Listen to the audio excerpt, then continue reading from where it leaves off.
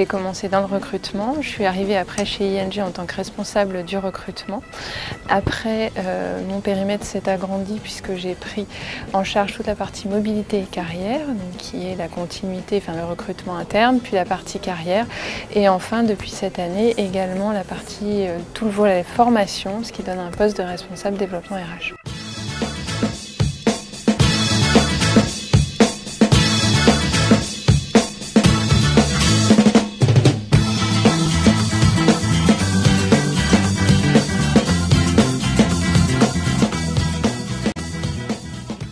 On gère un, service où on a 180 collaborateurs.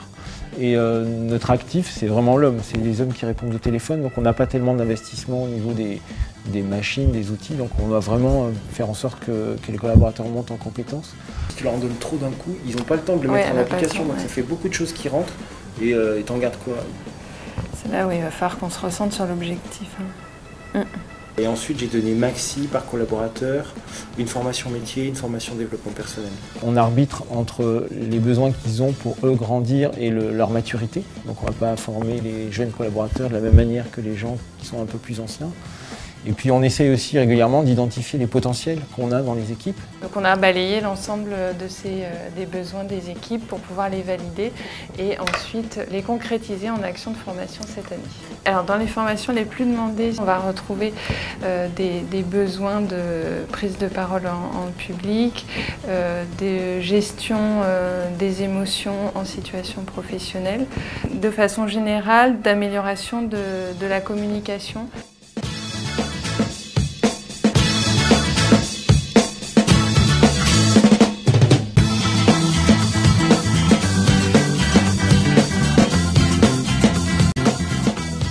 Un bon responsable formation pour moi, c'est quelqu'un qui est à l'écoute euh, des salariés, des tendances, qui accompagne sur les différents projets et qui est toujours en mesure de se remettre en question et de, revoir justement les priorités. D'un point de vue global, un responsable formation qui est capable de construire un plan de formation qui est vraiment en ligne avec les hum, projets stratégiques de l'entreprise, euh, qui puisse apporter de la valeur au business. La responsabilité première, c'est de développer l'employabilité des collaborateurs et aussi de contribuer. En fait, on, s'aperçoit qu'au-delà d'un développement de compétences et de connaissances, on contribue à les euh, rendre engagés et motivés parce qu'ils ont des perspectives, un projet et qu'ils sont dans une dynamique de développement.